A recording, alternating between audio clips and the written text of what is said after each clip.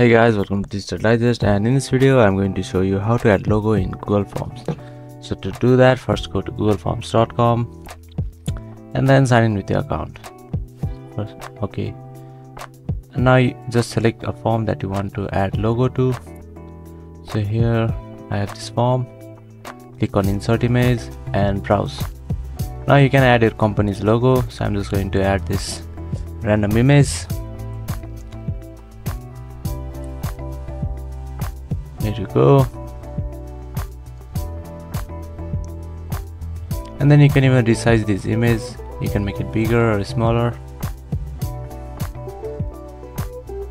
So yeah that is pretty much how you can add logo in google form. Thank you for watching this video and i will see you on the next one